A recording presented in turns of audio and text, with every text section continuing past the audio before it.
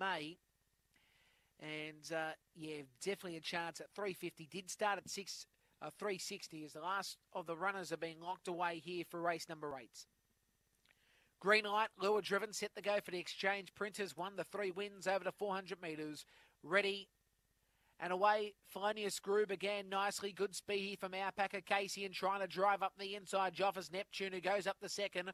Now moving up the third position is Caruso Kid, followed by Compton Jack. Then on the outside, it's Alpaca Casey. Moncombora is our second last is Blazing Rocks and Penshurst Lass around the turn. Felonious Grew, the leader. Joffers Neptune trying, but it's Felonious Grew who wins. Second spot, Joffers Neptune, followed by Caruso Kid.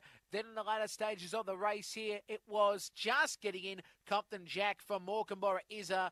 Then in the latter stages, Alpaca Casey with uh, Blazing Rocks and Penshurst Lass. And the time will be around about 23 and 10. Felonious Grew wins for Colin Kelly. Good win by the one red. 10.92 will be the section.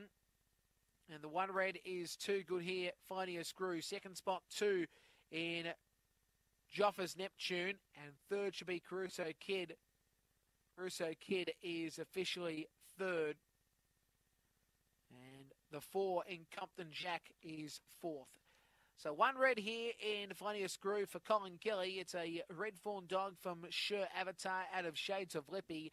Second spot, the two black and white Joffers Neptune for Narelle uh, Byrne. And it is a black and white dog from Mapunga Blaze out of Joffers Old Girl. And third spot, three white Caruso Kid for Michael Neal. It is a black dog from Magic